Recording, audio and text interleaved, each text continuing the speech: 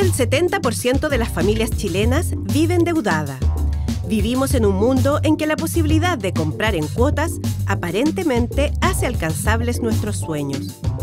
Pero si no somos racionales al decidir una compra, puede que gastemos más de lo que tenemos como ingresos y caigamos en un círculo vicioso que afecte la calidad de vida de todo el grupo familiar.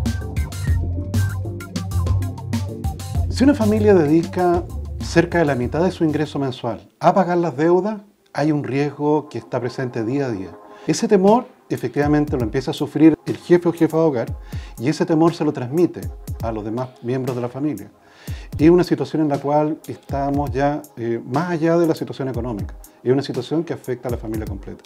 Hay que hacer un presupuesto, tanto para las festividades como para las vacaciones, en la entrada al colegio de los niños, y hay que guiarse justamente por lo que uno planificó. Todas las compras imprevistas, todo lo que se sale del presupuesto, finalmente nos va a pasar la cuenta.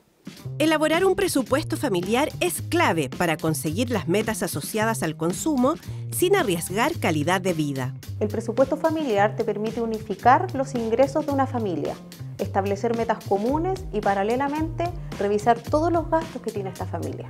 El objetivo de generar un presupuesto familiar es determinar los excedentes que la familia pueda tener para destinar al ahorro. Finalmente va a permitir a la familia, dado estos objetivos, estas metas o algún imprevisto, poder enfrentarlos sin la necesidad de endeudarse, por ejemplo, otorgándole tranquilidad.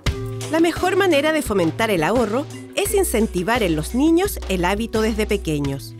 Inculcarles que la manera de lograr adquirir un bien es ahorrando periódicamente con este fin.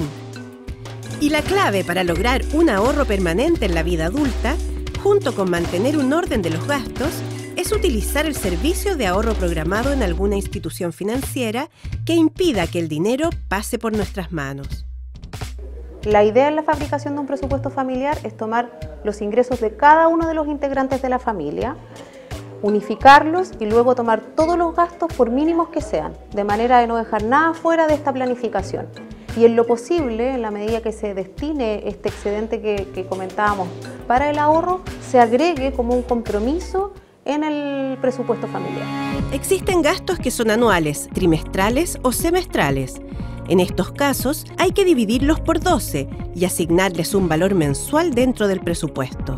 Es importante que el ahorro mensual sea un compromiso de toda la familia.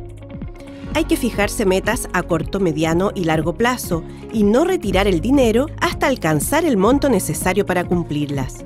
Tal como existe un presupuesto familiar, cada integrante puede tener el suyo propio.